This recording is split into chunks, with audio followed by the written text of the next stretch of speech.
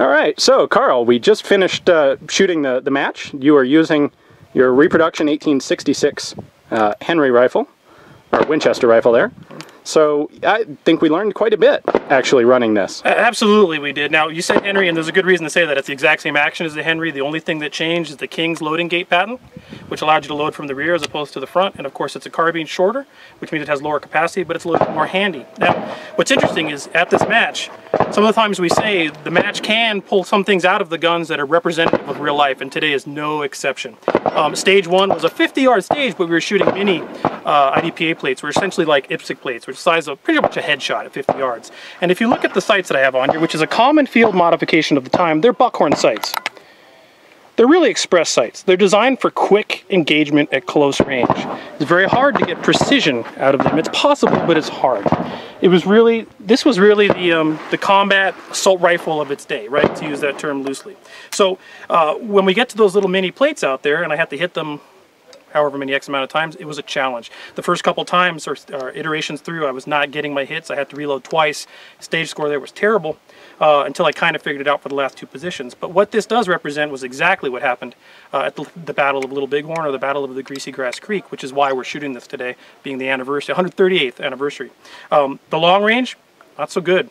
Once I got into range, which you would see when you watch stages two, three, and four, although four it simulates a hand injury, this gun comes into its own. And uh, imagine this against someone with a single shot trapdoor carbine.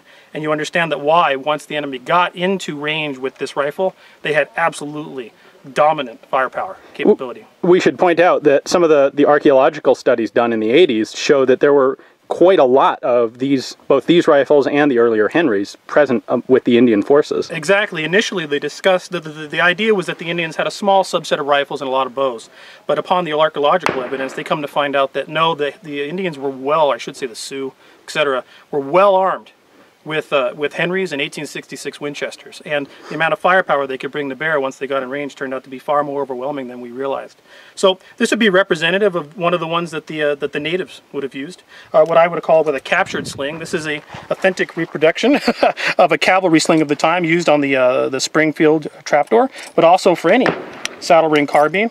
Ironically, get this. It was the single point sling of its day. Not that different than what we would see today. It does slide back and forth. You can see that strong arm or even support side shooting with this is perfectly fine. And if you need to get it off the sling, it's a simple, quick release buckle. Way ahead of its time. Now, there is an account of at least one cavalryman at Little Bighorn who was pulled from his horse via this sling and was subsequently, of course, uh, killed. Uh, I believe in the archaeological dig they found the sling swivel in the dirt. Uh, everything that they've done has, vindicated the native side of the story more so than they expected. This is a reproduction. The original shot 44 Henry rimfire, which had two firing pins for a double strike. I am shooting 45 Colt today strictly for ease of use, uh, just because it's a lot easier for this match. But I do also load a simulant of 44 Henry in black powder that are smaller cartridges that we call specials with a different loading lifting, loading, loading lifter, excuse me, a lifter, and um, I get the actual real capacity out of the gun. I just didn't do that today because it was too much to go on with.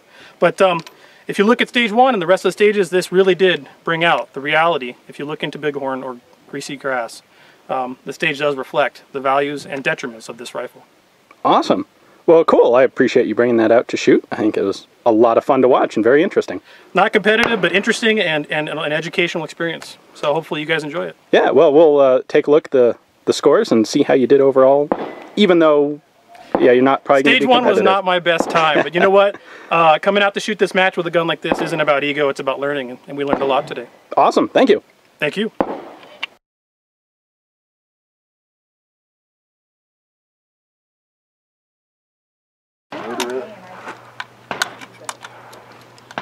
Old timey man.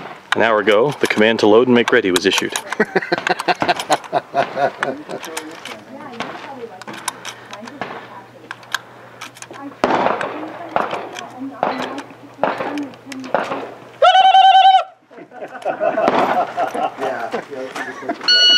Show you, not yet, not yet. Shooter ready? Yeah. Stand by.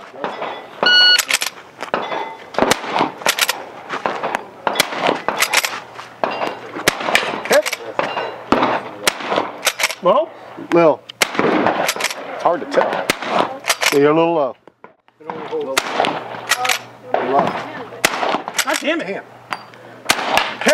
Had a that was Out.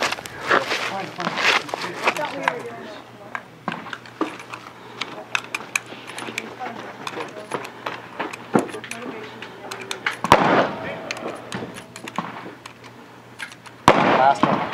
Last one? Last one. Hit. Good job.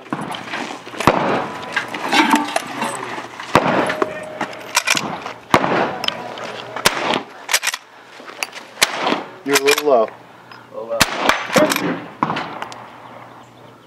Hit. Hit. Nice job. I have ammo resupply. You might need it.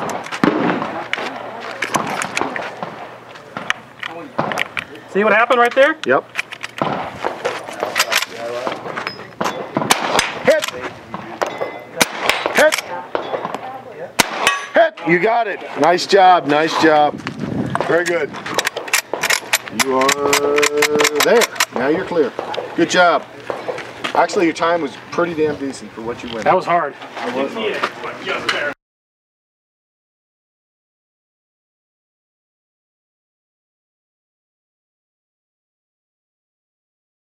Stand by.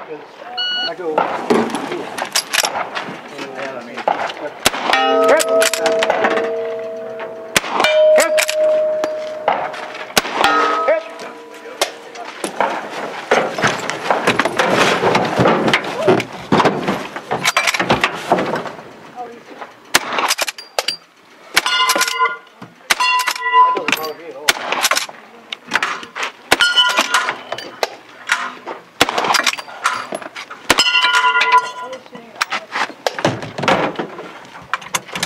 Or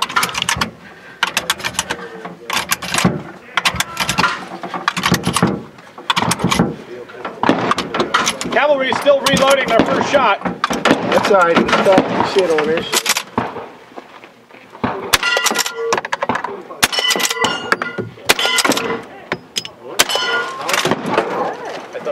Nice job. Need three more hits. You're doing good.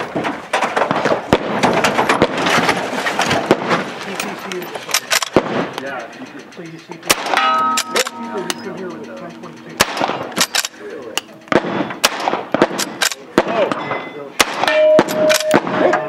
people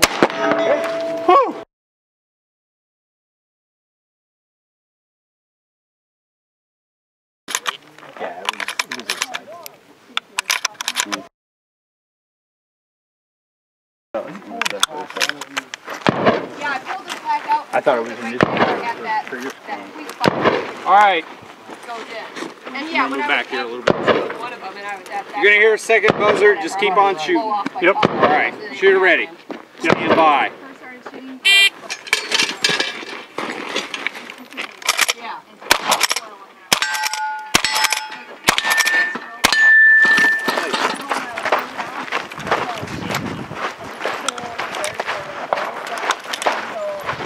I just did it already, and I just did that. And that's it.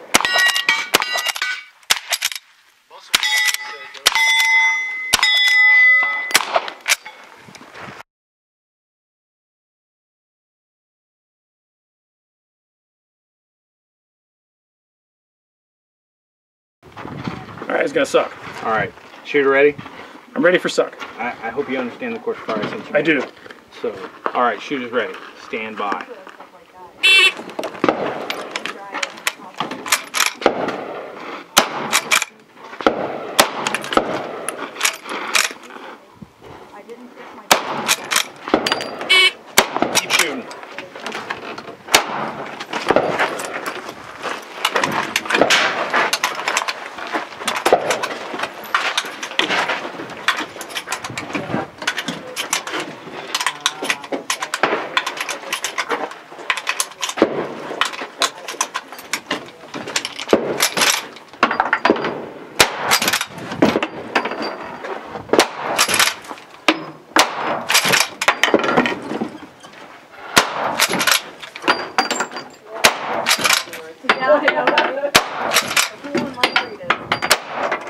That's it.